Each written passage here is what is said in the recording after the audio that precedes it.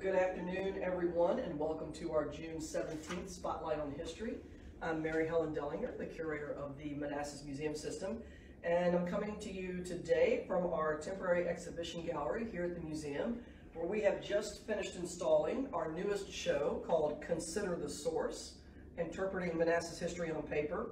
Now, we're not open to the public yet. We're working really hard to get there, but we want to be safe when we get open. So we, we anticipate that being in phase three of the governor's plan. But we went ahead and got the exhibit all ready for you anyway, so when you're able to visit, when we reopen, it's going to be installed and, and ready to go. So in the meantime, since we're not open yet, we have this great new show, I'm going to share over the next couple of weeks with you small bits and pieces of the exhibit so you can uh, hopefully get really interested in what we have in here so when you come out you'll be a little bit familiar with, um, with the new exhibit.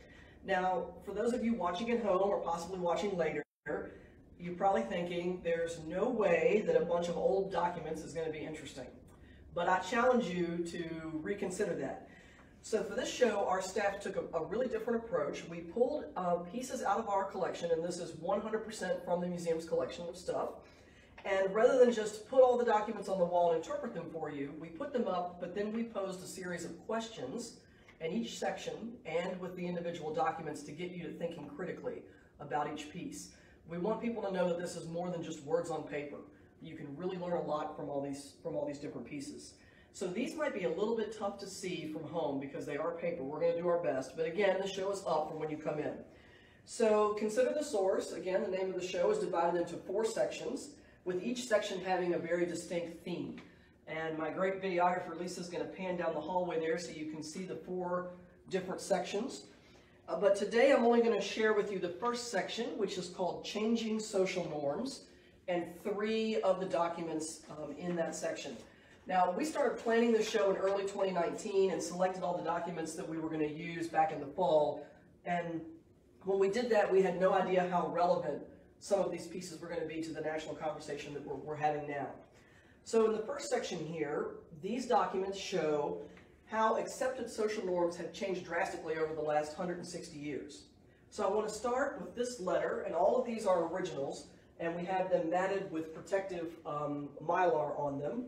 So this is a letter written by a lady named Melinda Robinson, who lives in New Orleans, to a Mrs. Joseph Johnston, and the date is 1866.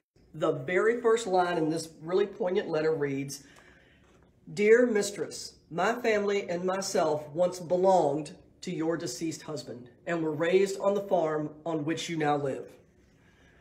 So think about those words. My, my family and myself once belonged to your deceased husband. So what must it have meant for Melinda to write them? How do you think that she would have felt writing those words to someone else? And without knowing anything else about these two women, what can you almost immediately deduce from, from just that first sentence? So this is kind of a story in this letter, unspoken words. In this letter, Melinda is writing to her mistress, Mrs. Johnson, um, asking for information about her brothers and sisters. So that's what the letter is about. She, Melinda, has been living in New Orleans for the past 20 years. So remember, and, I said that the date was 1866, so do that quick math and think about that. What does that piece of information imply? That she moved to New Orleans 20 years before.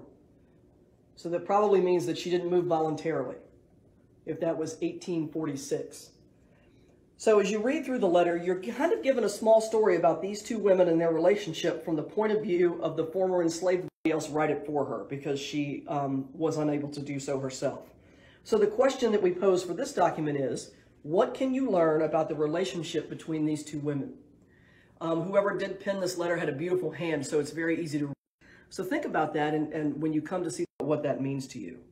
It's a great piece that the second document that I want to share today this is a list of people who have paid the poll tax in Manassas in 1928 and are therefore eligible to vote.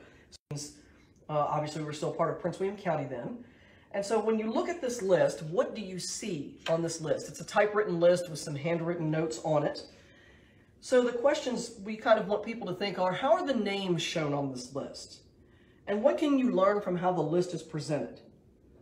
And what might you infer from what voting was like nearly 100 years ago?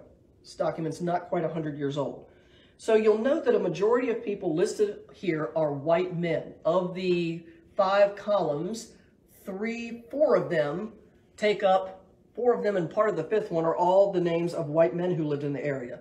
There are some women listed and they've recently earned the right to vote, so there are a few of them. But look at the disparity between African American voters and white voters. And why do you think that is? Because you know there were more people living on this list. And for those of you that are not familiar with that, a poll tax was a fee that the government charged in order to, and they called it a tax. It was a way to disenfranchise and other poor people um, from participating in the political process. Obviously, that's not legal now. So that's a great document that we have. We have others like that in the collection from other uh, towns. Great, um, a great document to pair up with the letter that I want to share with you. At first glance, doesn't look like these. Again, that's what we want you to do is kind of really take a look.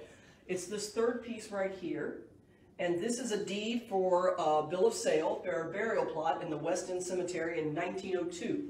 And it's between William Foote and I forget the other person's name on here.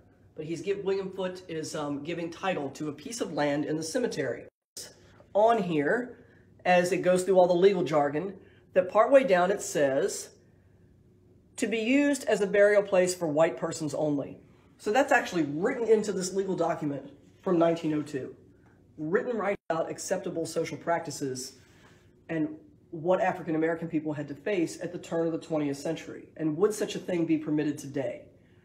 So the answer to that is obviously no. You can you can buy a burial plot anywhere, but it does kind of also explain why Manassas has two cemeteries, which is the Manassas City Cemetery, historically been the African American. Um, obviously, you can be buried wherever you want to today, but they kind of fall. So for those of you that aren't familiar with that little piece of our history, it illustrates that and illustrates our time period. So I hope that these three pieces here today kind of gave you some food for thought and make you see that documents really are great things, tell us a lot about our past. Um, again, if you have any questions, please comment and we'll get back to you. And if you have any requests, let us know that and we can get back to you. Um, so that's all for now. This is a really short one today. Please join my colleague, uh, Rachel Goldberg, next Tuesday when she presents a great hands-on activity for families on quilting. And that'll be next Tuesday. And join me again next week at noon on Wednesday when we look at the next section of this exhibit called Documents or Art. I'll see you then.